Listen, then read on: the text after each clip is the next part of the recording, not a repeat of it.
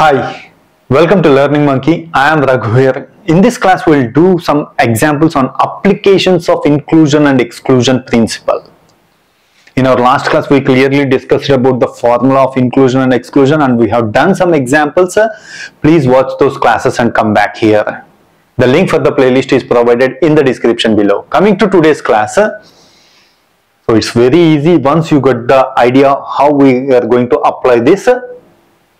Determine the numbers not exceeding 100 means you have to take all the numbers that between 2 and 100 here we are excluding 1 so don't consider 1 2 and 100 and not divisible by. So the numbers that are not divisible by 2 3 5 and 7 it should not be divisible by any of these numbers those numbers. How many numbers are there that are not divisible by any of these numbers? 2 3 5 and 7 we need that count. That is what they they have asked. Now coming to that uh, p1 we are considering it as numbers divisible by 2 p2 is considered as numbers divisible by 3 p3 is considered as uh, numbers divisible by 5 p4 is considered as numbers divisible by 7 now try to understand the why why we can apply principle of inclusion and exclusion. Here how many variables are there? Four variables are there. In our previous classes we discussed the formula up to only three variables. We are going to extend the formula for four variables here. In order to make you understand that four variable formula we have chosen this application. Now coming to the numbers not divisible by any of 2 comma 3 comma 5 comma 7 this is what required. So that is what we re- required.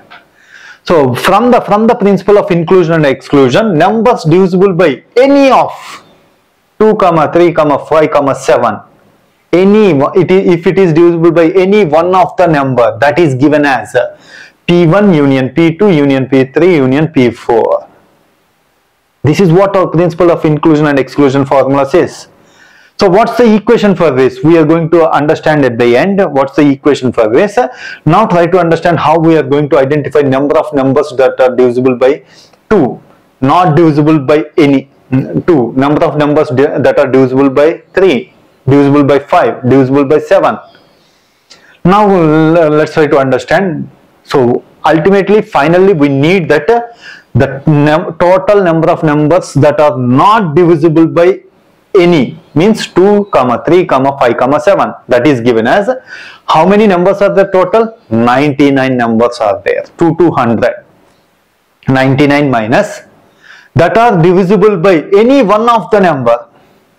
That is p1 union p2 union p3 union p5 p4 that is given as if you if you subtract 99 minus uh, any one of the number then you are going to get the numbers that are not divisible by any one of the numbers.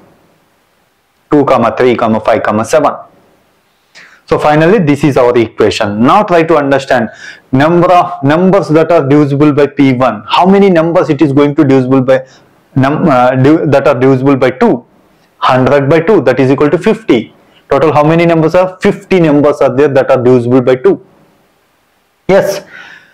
100 by 2 50 2 4 6 8 10 12 like that. All the numbers are divisible by 2 similarly numbers that are divisible by 3 means 100 by 3 which is 33 total 33 numbers are there in between 2 to 100 similarly number of numbers that are divisible by 5 that is 100 by 5 that is equal to 20 Similarly, numbers divisible by 7, 100 by 7, that is 14 numbers are there. Now you need to identify numbers that are divisible by both 2 and 3. P1 intersection P2. 6 is a number that is divisible by both 2 and 3. If a number that is divisible by 6, then it can be divisible by both 2 and 3.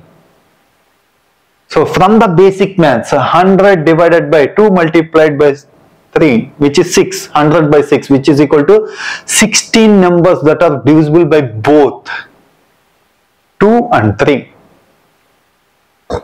Similarly, num- numbers that are divisible by, by both uh, P1 intersection P3 means 2 and 5. 100 by 2 multiplied by 5 right? that is equal to 10 numbers are there that are divisible by both 2 and 5 Similarly, numbers divisible by 2 and 7, 7 numbers. Numbers divisible by 3 and 5, that is equal to 6. Numbers divisible by 7 and 3, 4 numbers are there. Numbers divisible by 7 and 5, 2 numbers are there. 7 5 is 35, 100 by 35, uh, that is equal to 2 times it is going to do.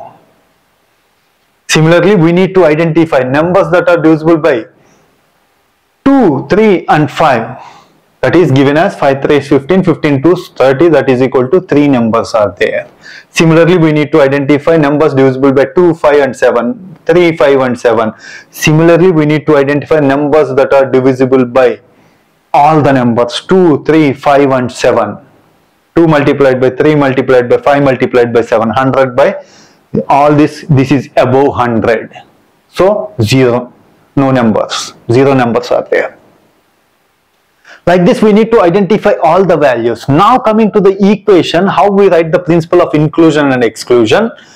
P1 union P2 union P3 union P4 is given as number of num, number of numbers in P1, numbers in P2 plus numbers in P3 plus numbers in P4 minus one time plus second time minus minus P1 intersection P2, P1 intersection P3, P1 intersection P4. Here we did not mention intersection, it is intersection.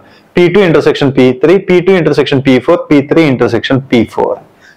Plus, one time minus, one time plus, plus P1 intersection P2 intersection P3 plus P2 intersection P3 intersection P4 plus P1 intersection P3 intersection P4 plus P1 intersection P2 intersection P4 again minus minus p1 intersection p2 intersection p3 intersection p4 this is how we write the principle of inclusion and exclusion formula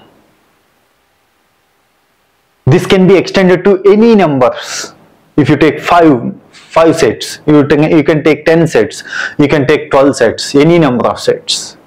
So now if you if you if you if you apply all the numbers that belongs to above whatever we defined and if you apply it here and this from this we are going to get p1 union p2 union p3 union p4 but our final answer is not that we need to identify 99 minus n minus this so 99 minus P1 union P2 union P3 union P4 you are going to get 21. Here we are not showing all the values adding and minus.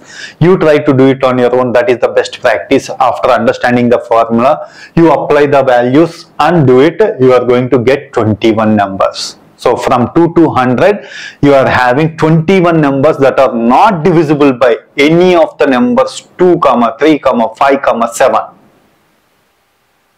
this is one of the application of principle of inclusion and exclusion. There are many examples, we are dealing with few of them. Hope you understand this example. If you have any questions regarding the concept, please post a question in the comment section below. Thanks for watching. If you haven't subscribed to our channel, please subscribe to our channel and press bell icon for the latest updates. Thank you.